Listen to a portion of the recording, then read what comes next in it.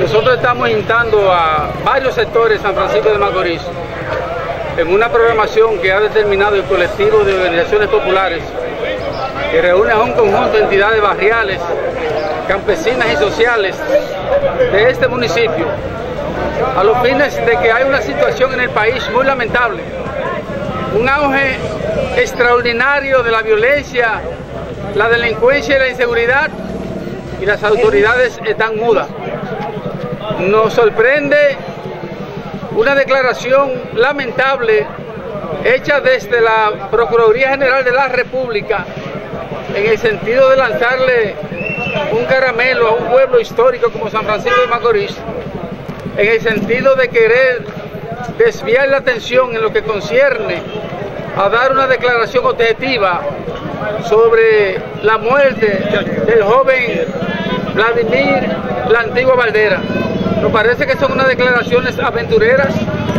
unas declaraciones oportunistas que pretenden jugar con la inteligencia del pueblo de San Francisco de Macorís. Además, este recorrido tiene por finalidad demandar las distintas reivindicaciones de los barrios populares de San Francisco de Macorís y la demanda histórica de este movimiento social y además en apoyo a la jornada huelgaria que estamos planificando para el 24 de abril del mes en curso, de manera que al pueblo dominicano, a los barrios, a los sindicatos, a las asociaciones, no le queda otro camino frente a una conducta mezquina por parte del gobierno central y su conjunto de funcionarios